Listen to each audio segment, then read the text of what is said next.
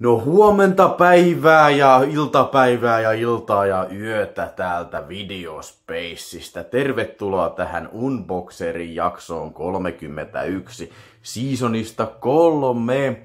Mä oon tässä vähän väsynyt, kun tota noin, niin heräsin jo puoli viisi aamulla, kun yläkerran tyypit ne jotain tömisteli siinä ja sitten mä en enää saanut nukuttua, niin satana, että väsytti perkele. Mutta mä ajattelin, että ei tässä auta mitään muuta kuin puhua vähän Vilmeestä, niin ehkä sitten vähän piristyis, joo.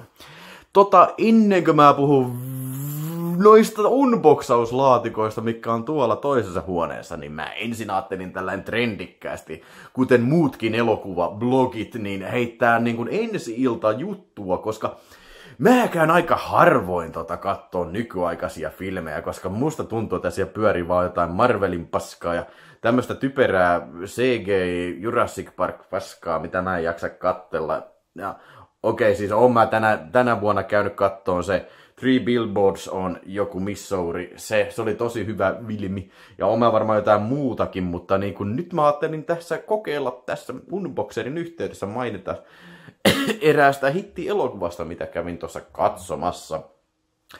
Ja kyseessähän on Star Wars, uusi Star Wars-elokuva, ei siis tämä Imperiumin vastaisku, minkä mä otin vaan tähän rekvisiitaksi, vaan niinku tää Solo, a, Star Wars Story, eli siis näitä Disneyn tekemiä spin-offeja sitten, mitä näytetään nykyään näissä pää, pääleffojen väleissä sitten, joo ihan tosiaan niin kuin kollegani Raulin innottamana menin tota katsomaan sitten, kun Rauli sitä kehu sitten ja otin mukaani to Mätsi ja sen poja Nemon sitten katsomaan, joka on kahdeksan vuotta. Ja käytiin tosiaan lauantaina chigaamassa se. Ja täytyy sanoa Rauli kuule, että tota, se oli ihan hyvä. Se oli kyllä oikein hyvä ja oikein positiivinen yllätys. Tota noin, niin kiitos tästä suosituksesta. Mä tykkäsin siitä, että siinä oli vähän saatu onnistuttu luomaan tämmöistä niin vanhan ajan seikkailuhenkeä, niin kuin tässä elokuvassa, mikä by the way on ainoa Star Wars-elokuva, mitä mulla oli hyllystä löytyy.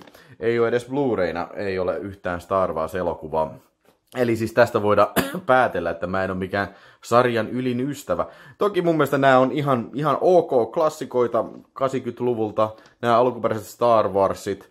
Ja mun mielestä mä, mä en ole ikinä oikein pitänyt näitä niin kuin omina elokuvina, vaan tää on niin kuin, Tähtien sota, Imperiumin vastoisku ja Jedin paluu, ne on vähän niin kuin samaa leffaa, se on niin kuin samaa tarinaa sitten, mikä päättyy, alkaa Tähtien sodasta ja päättyy sitten Jedin paluu. Se, ja mun on vaikea mieltää niitä erikseen elokuvina, mutta yleisesti ottaen juuri tätä Imperiumin vastaiskua pidetään ehkä parhaimpana. Ja siis kyllä mun mielestä tämä uusi pääsee aika, aika lähelle sitä samaa henkeä, mitä noissa oli oli tota noin, niin onnistuttu, onnistuttu kyllä hyvin saamaan. Ja se saavutaan ihan sillä, että niin kuin, te, tehkää, kun tehdään hahmoja, millä on, mistä niin kuin välittää, mikä on mielenkiintoisia, niin, tota, niin sillä pääsee jo tosi pitkälle. Ja siis kun kuvataan elokuvaa, niin kuvataan oikeissa lokaatioissa, eikä niin kuin vittu 80 prosenttisesti green screenillä. Koska se näkee sitä. Sen näkee, että se on niin kuin, tiedätkö, aidosti tehty. Tämä on niin kuin näyttää elokuvalta, eikä vittu videopelin katsiinista.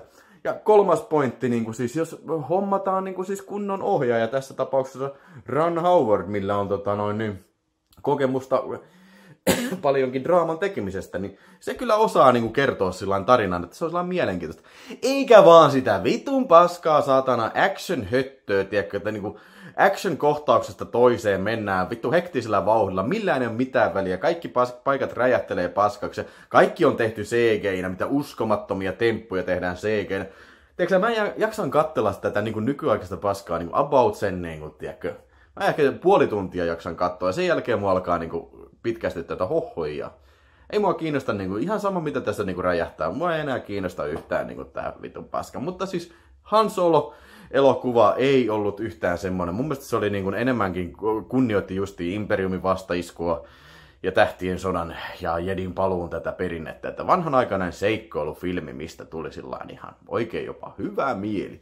Suosittelen. Valitettavasti tämä varmaan on niin kuin näistä Disney Star Warsista eniten flopannein elokuva nyt sitten ainakin, mitä mä näin jotain uutista, että niin kuin katsojat ei oikein ole ottanut omakseen tätä. Se ehkä saattaa johtua Disneyn tästä politiikasta, että ne niin kuin runno tämän seuraavan Star Wars-elokuvan heti niin kuin puoli vuotta sen jälkeen, kun tuli tämä, mikä tämä edellinen on, oli niin kuin se, tämä, tämä, en mä edes muista, ei Force, ei Awakens, vaan se tarinassa seuraava, missä on toi Luke Skywalker. Mä en ole nähnyt sitä.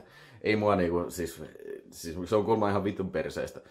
Niin, että niin kuin, ja yleensäkin ottaen, niin varmaan kukaan ei ole siitä edellisestä Star Warsista tykännyt, että niin kuin, ihmiset on katsonut, okei, okay, tää on paskaa, tää on taas tätä normaalia paskaa, niin puolen vuoden päästä tulee sitten loistava Star Wars-elokuva, niin kukaan ei jaksa mennä kattoon sitten, kun ne niin kuin epäilee, että jaa, tää on sitä samaa vittu paskaa. Vittu mä oon nähnyt nämä vittu Star Warsin paskat, sä tänään en, en mene katto. Mutta hei, jos Star Wars kiinnostaa, ettekä on nähnyt, niin jopa Vilho voi suositella tota noin, niin kaikille, kaikille seikkailu- ja avaruuselokuvan ystävälle tätä elokuvaa. Yes! Okei, hei, se oli tämmönen trendipelle sektio tästä, niin kuin lupaan, että en ota tätä tavakseni puhua uusista filmeistä, koska en niitä juuri katso, niin kuin sanoin. Ja nyt mennään siis itse asiaan, ja meillä on täällä laatikko, se on jo auki, ja vittu, meillä on täällä mailkoolissa settiä, joten aletaanpa katsomaan. Ui, ui, ui, ui, ui, ui, ui, ui, ui. Huuhdellaanpa sitten mainstream Star Wars höttö heti, heti kurkusta alas oikein kunnon aidolla pornoelokuvalla. Eli tässähän on kyseessä Frekvenssia Geetten julkaisema tuota Come Under My Spell hardcore porno-elokuva. Näitähän julkaistiin silloin 80-luvun alkupäässä Suomessa, suomeksi tekstitettynä. Ja siis kyseessä hän on ihan niin kuin filmille kuvattu teatteri-porno-elokuva kyllä. Ja se, mikä tekee tästä erikoisen, on se, että niin kuin, tämä tota, tämä Frekvenssia G on tunnettu paljon paremmin niin kuin siis oikeidenkin filmien julkaisijana. Eli siis, ja mun mielestä, että siis ainakin mulle ei tule mitään muuta tämmöistä isompaa niin, kuin niin sanottua normilevittäjää mieleen, mikä on niin kuin kovaa pornoa julkaissut Suomessa ihan niin kuin omalla nimellään. Kyllä, että siinä mielessä Frekvenssia G on tällä X, X, Adult X-film-sarjalla on tehnyt kyllä hienoa kulttuuripioneerityötä Suomen maassa. Ja nämä on siis on tosi harvinaisia ja mä oon niitä muutaman kerännyt, niitä on tuolla, mä voisin itse asiassa jonkun spesiaalijakson sitten, kun tämän kasan saa joskus käsiteltyä, niin omistaa oikein kunnon X-filme, pornovilmeille sitten tota noin, niin näistä puhua enemmänkin, koska nämä on hienoja kasetteja ja niin kuin laadukkaita julkaisuja kyllä ei siinä mitään. Ja kuten sanottu, niin tosi harvinaisia. Tämä olisi niin kuin sopinut kyllä ihan supersäkkiinkin, mutta niin kuin, niin kuin sanottu, niin mulla on tuossa supersäkissä, siinä on kyllä yllin kyllin jonoa, että niin kuin ei tarvinnut sitten sinne asti tätä pistää. Että käsitellään se tässä nyt sitten. Hieno filmi. Varmasti niin kuin tulee käyttö kovaan käyttöön. Sitten lisää, sitten meillä on samassa paketissa, tuli tämmönen filmi kuin oi oi teknofilmin Django Kill. If you want to live, shoot. Jos tää on se sama elokuva, eikä, että onkohan tää, onko tää Djangon jatko-osa? Mä, siis mä oon ihan pihalla Django, Django-elokuvista kyllä, että niinku mikä, mikä nyt on mikäkin Django. Mutta ilmeisesti VTC mustakanteisena mulla on tuolla se alkuperäinen Django. Ja tää Django Kill, If You Want To Live Shoot, on vissiin se ihan ensimmäinen jatkoosa siitä. No, joka tapauksessa Thomas Millian näyttelee tässä Djangoa eikä Franco Nero niin kuin ensimmäisessä. Ja siis en ole varmaan kyllä ikinä nähnyt Django Killiä. Kyseessähän oli v- Beta Max nauha, mikä nyt ei muhun enää teho yhtään, koska meikäläisillä on. Nykyään on sitten v- Beta nauha. Ja siihen on lähetetty, jätetty viestitä hyvä kuva, kuntotarkastettu Sonyn nauhurilla. Sanyon nauhurilla. No ne. Aivan mahtavaa, uskon, uskon hyvää viestiä. Sitten lisää Lisää teknofilmin Gunman's Hands, western-elokuvaa, kyllä. Hieno kansi, kuten myös oli tuossa Djangossa unohtu sanoa. Ja tääkin on beta-kasetti, hyvä kuva, lukee taas viestissä tässä, kai se pitää uskoa. Ja tosiaan niin nämä on varmaan tämä SF tarkoittaa teknofilmin tapauksessa sitä, että nämä on suomi-versioita. Koska siis näissähän on tosiaan nämä kannet on, näissä ei ole mitään niin suomenkielistä nämä on kaikki, niin kuin, tai ilmeisesti niin kuin englantilainen levittäjä tämä Technofilm, ja niiden kannet, kansileiska on Pohjoismaissa ja Englannissa täysin sama. Ehkä joissain saattaa olla joku tämmöinen tarra, mihin on rustettu suomenkieleksi nämä takakansitekstit, mutta niin kuin näissä ei, ei kummassakaan kyllä semmoista ole. Ja kuten tästä niin kuin lukee, niin tässä ei edes ole mitään ta- takakansitekstiä, joten niin kuin, jos haluaa kovaa lyriikkaa lukea, runo, runosuonta hyviä runoja lukea, niin tämä on kyllä ehkä väärä paikka sitten etsiä niitä noin teknofilmi. Jees, mennään eteenpäin. Ja hei, tää oli jo, piti jo ensi, vi, viime kerralla käsitellä. Mä itse asiassa halusin vaan puhua tästä, koska niin kun, mulla on tästä jotain sanottavaa, koska ui ui ui ui ui! Tetsuohan on hieno, hieno filmi sitten, cyberpunk-filmi en mä en oikein vertaisi tätä Blade Runneriin tai Robocopiin, niin kuin tässä kansissa sanotaan, mutta niin kuin, äh, siis hyvin omintakeinen science fiction cyberpunk-filmihän se on. Mä ehkä mieluummin vertaisin Evil Deadiin, siis sen verran niin kuin tämmöistä niin kuin energiasta, energistä kuvau kerrontaa tässä on ja kauhupainotteista kyllä, että niin kuin, jos science fictionia haluaa, niin, niin, tota, no, niin katso tosiaan mieluummin Blade Runner tai Robocop.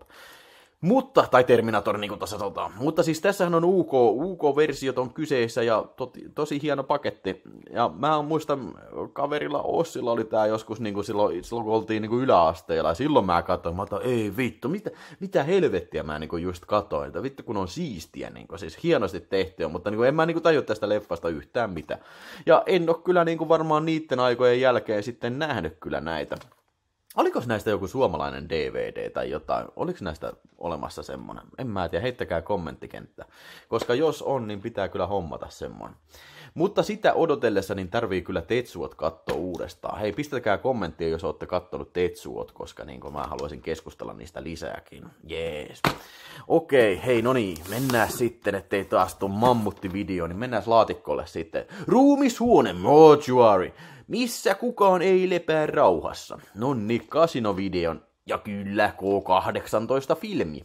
Joo, tää taiskin olla näitä harvoja kasinofilmi kasinovideoita, mitä ei mulla nyt ole tässä käynytkään näissä laatikoissa.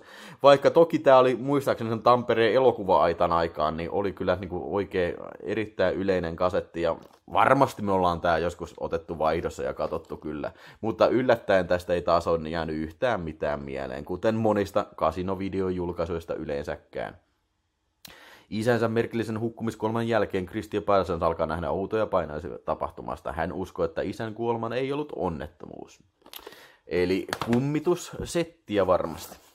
Keskiön kauhun, varmaan lisää kummitussettejä. Olisiko tää sitten niinku har- hammerihommaa, koska tässä on Christopher Lee ja Peter Cushing. Ui, ui, ui. Siinä on Hammerkauhun veteraanit on tässä el- elokuvassa, mutta mä en oikein tiedä, onko tää nyt sitten Hammeria vai ei. Nothing But The Night on alkuperäinen nimi, ja epäilemättä brittiläistä filmiä tää on, mutta niin kun en mä, tästä mä en tiedä kyllä yhtään mitään. Tää on niin saatanan tuttu kansi, että onkohan se mulla ollut tuossa jossain, niin kun, mun täytyy kyllä tarkastaa, tarkastaa kyllä tää. Mä en ole ihan varma, että oliko tää jo koska niin tämä on kyllä aika siisti kansi, tommonen aika groteski silmä, silmämuna irti kansi, että niin tällä myydään kauhuelokuvaa. Ja tosiaan Barjun video julkaisu, että ei nyt varmasti ole mikään helvetin kauhean harvinainen kyllä, että niin kuin semmonen, mutta hieno kansi kuitenkin ja hyvät näyttelijät. Ja sitten meillä on taas satanasti tätä vitun sinikantista Showtime-paska. Ol, olkaa huoleti, kohta se loppuu. Kohta tämä Showtime-summa loppuu. Niitä on meidän pari edellistä videoa ollut täynnä.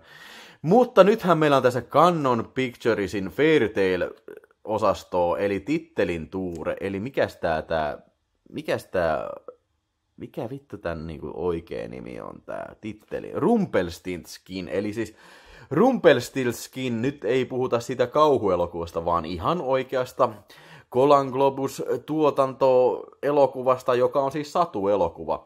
Näitähän oli Prinsessa Ruusunen ja ähm, joku toinenkin tämmönen satukannoni mulla oli. Arvakkaas onko muuten kerennyt katsoa.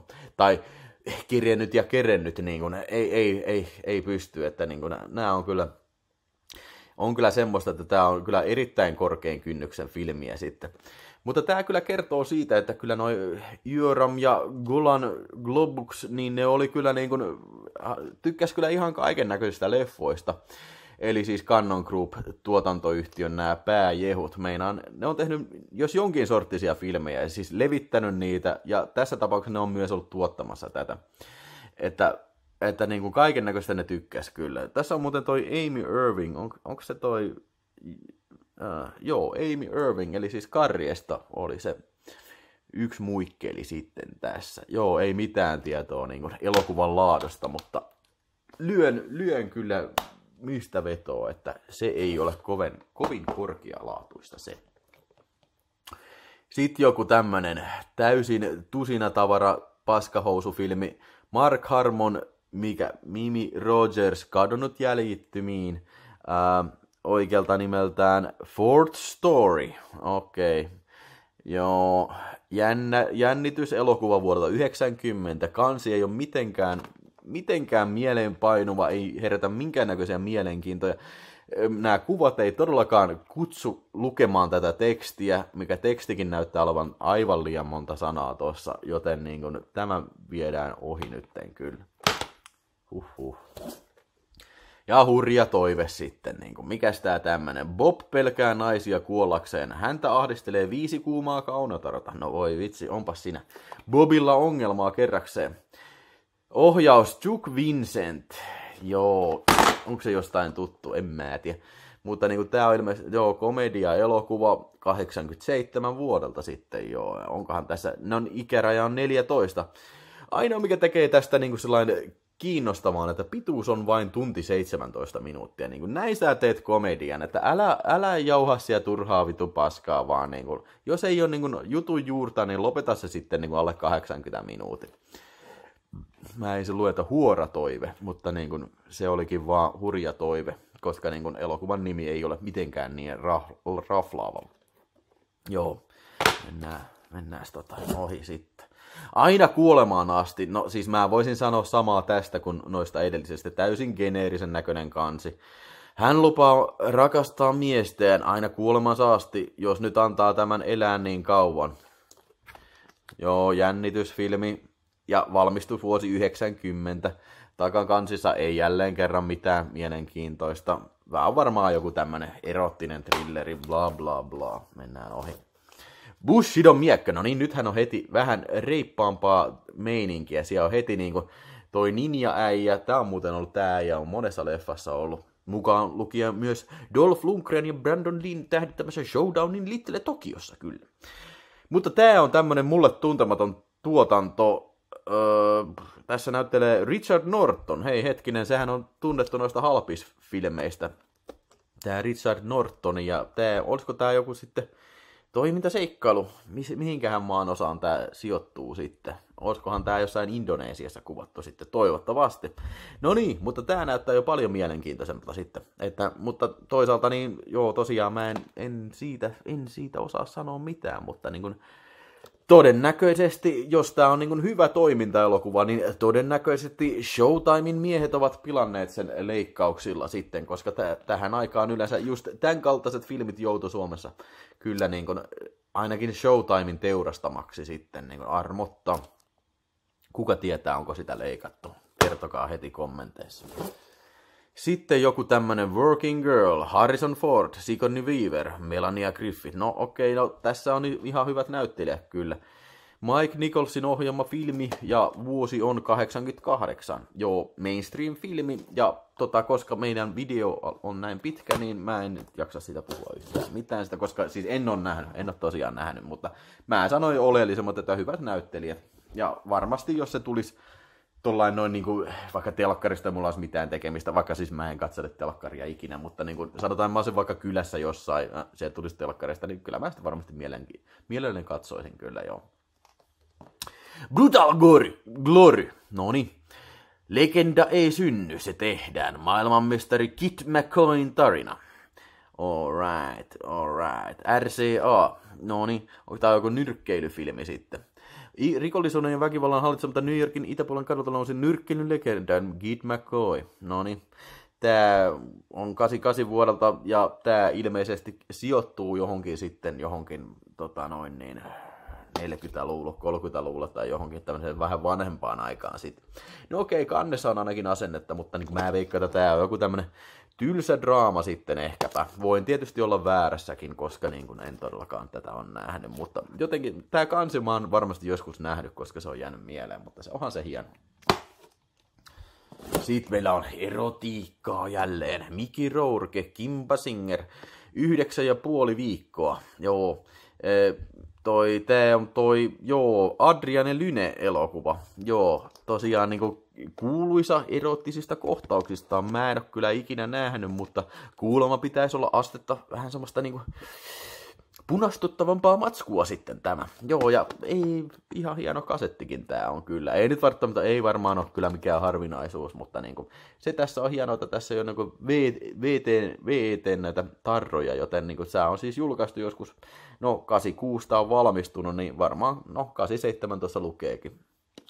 Että jostain syystä tämä on välttynyt sitten videolain tarroilta tämä kasetti. Lienee sitten ehkä myy, myyty jo ennen kuin tämä, nämä tarrat tuli sitten siinä 89-90 niin kuin tuli sitten ehti niin kuin viimeisinkin, viimeisimpiinkin vuokraamoihin sen jälkeen, kun videolaki tuli sitten.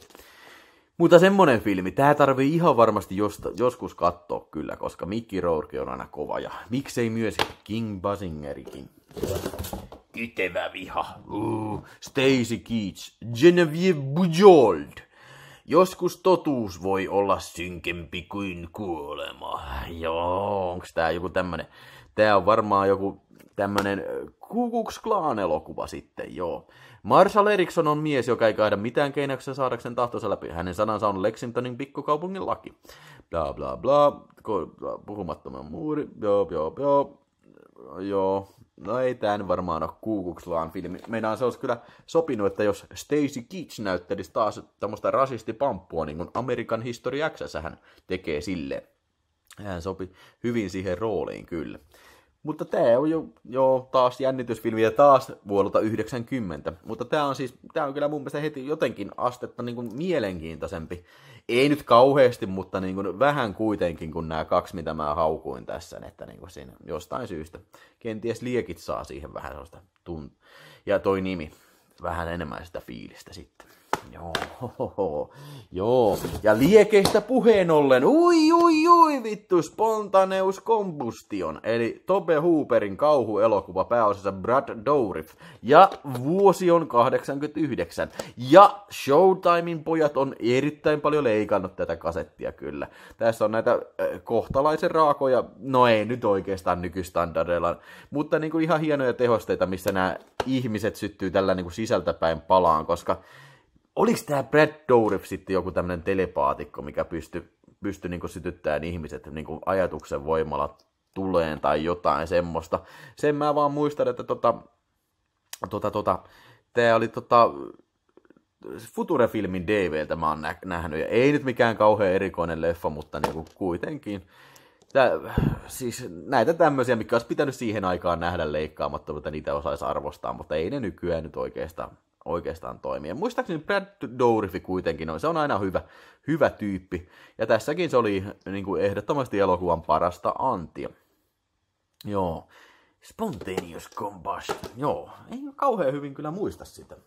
Varmaan pitäisi katsoa uudestaan, mutta ei kyllä tosta kasetilta. Mystic Pizza. Ii vittu, mä oon ihan varmaan tän, tämänkin tässä niin unboxannut vähän aikaa sitten. Mä muistan tämän nimen, Mystic Pizza.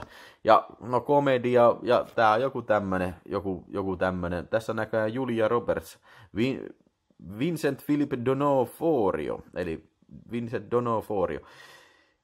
Eli tämä on varmaan tehty, Julia Roberts on tämän, varmaan ennen Pretty Womania just tehnyt sitten, luulisin näin. Joo, mutta en tiedä siitä sen enempää. Oi vittu, tää muuten kaatuu. No, no niin, sain taltioitua hienosti tälle videolle tämän hirveän katastrofin. Nyt, vittu, nyt varmaan kaikilla on paskat housuissa siellä kotikatsomassa. Ainoa mahdollisuus. Mattin on pelastettava isänsä terroristien leiristä, mutta aikaa on vähän. Joo, James Franco. James Fargon ohjaama. Eli siis James Fargohan on ohjannut paljon Chuck Norrisia monessa hyvässä Chuck Norrisin filmissä. Ja muutenkin äh, James Fargo tunnetaan rajuista toimintaelokuvista. Lieneekö tämä sitten leikattu? Todennäköisesti on, jos tämä on raju toimintaelokuva. Tai sitten jos tämä ei ole raju toimintaelokuva, niin voi olla, että ei ole leikattu. Mutta toisaalta eihän tämä Showtiminkaan sensuuri aina kauhean johdonmukaista ollut. Että välillä siellä oli ihan, ihan rajujakin pätkiä leikkaamattomana sitten. Mutta joo, tää on tämmönen joku ainoa mahdollisuus toi. Sitten muutama vielä tässä. Makaroni, jo komedia 85 vuodelta. Onko tämä sitten joku italialainen? Joo, ilmeisesti kyllä se on macaroni. Ei, ei, ei tää ole Italia, ei, ei, voi olla, koska tää on Jack Lemmon. No okei, okay, Marcel Mastroianni, niin ehkä tää on joku tämmönen yhteistuotanto. Oh. Ettore Scola on ohjannut, joten on tämän pakko olla italialainen. Mutta eiköhän tässä englantia sitten puhuttu. Mä en vittu tiedä tästä yhtään mitään. I don't know. Sitten Vietnamin sankarit. How Sleep the Brave. Mutta onks tää joku eri elokuva kuin se, tota, Ai, mikä se on se Star Video julkaisema? Sen nimi on kans House Sleep the Brave. Se on se, mikä se, Lindsay Shonteffi, se brittiläinen paskapääohjaaja, paskahousuohjaaja, mikä tehnyt ihan paskoja filmejä. Mutta sekin on tehnyt siis Vietnam-elokuva House Sleep the Brave.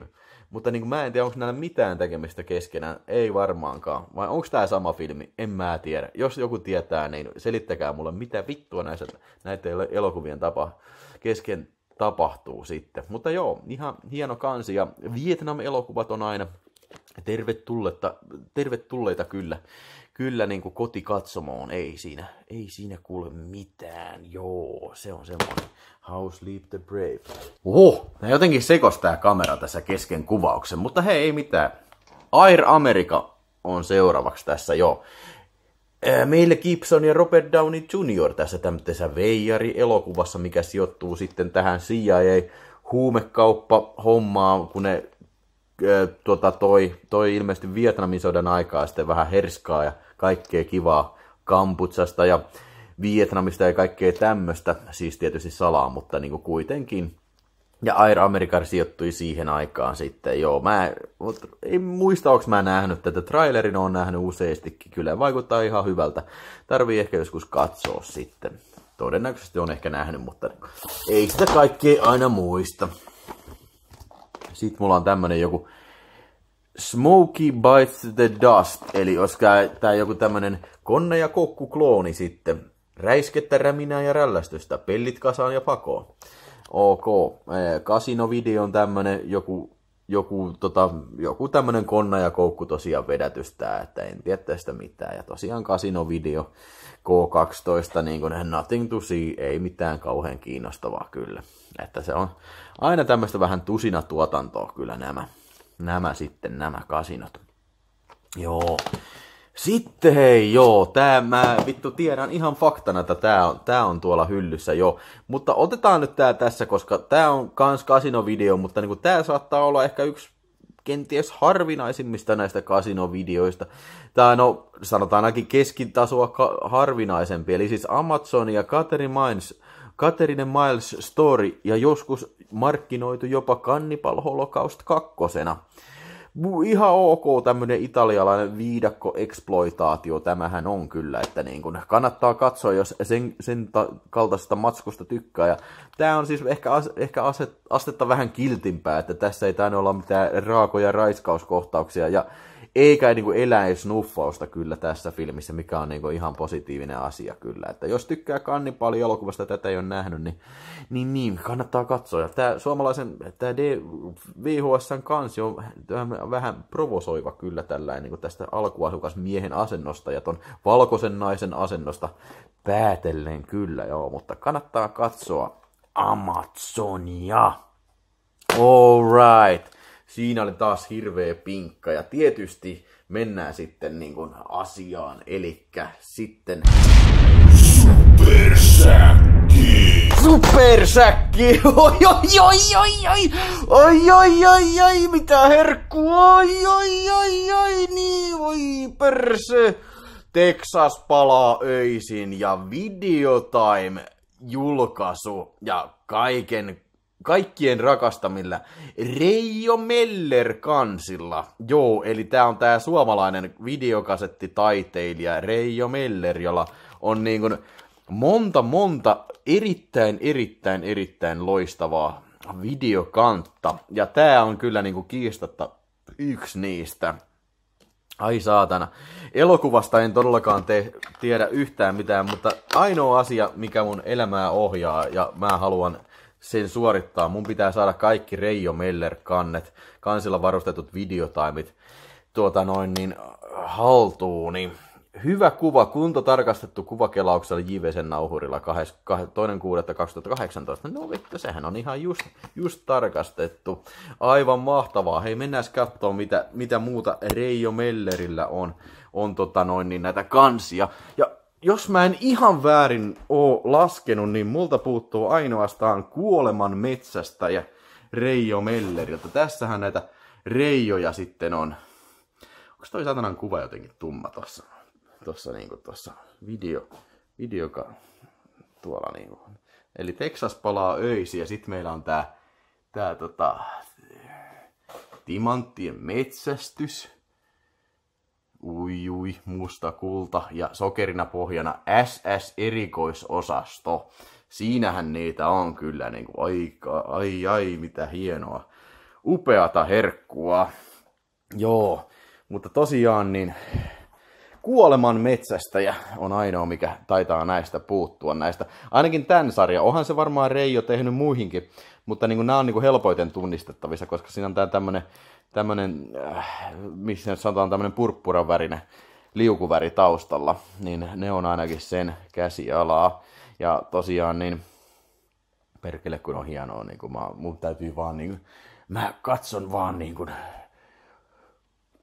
hiljaisesti kunnioittaen näitä tosi, tosi hienoja taideteoksia. Kyllä näistä pitäisi tehdä niin kuin tommonen, juliste, mitä, tommonen julistetaulu oikein, mitä mulla tossa on, koska nämä on niin vitun siistejä. Vai mitä olette mieltä, niin kuin, heittäkää mulle kommenttia Reijo, Reijo Melleristä ja sen tuotannoista.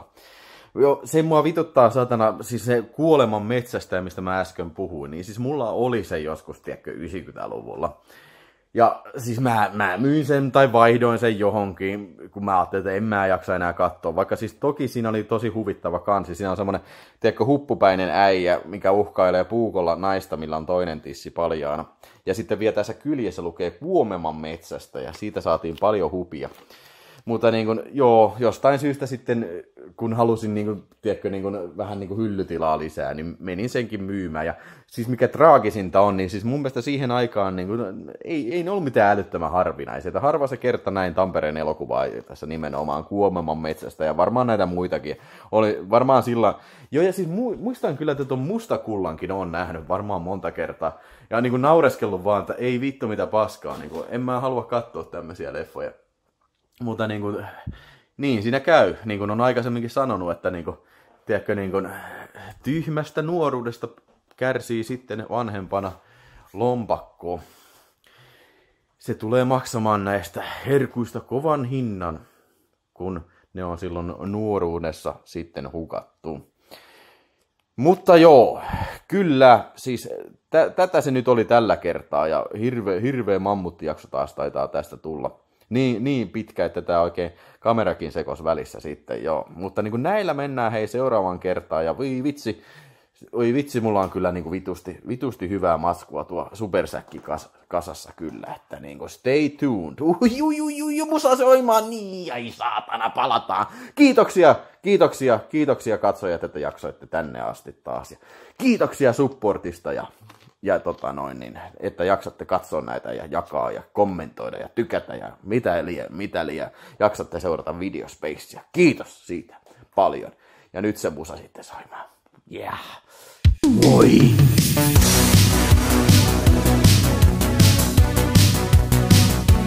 Open up the cover.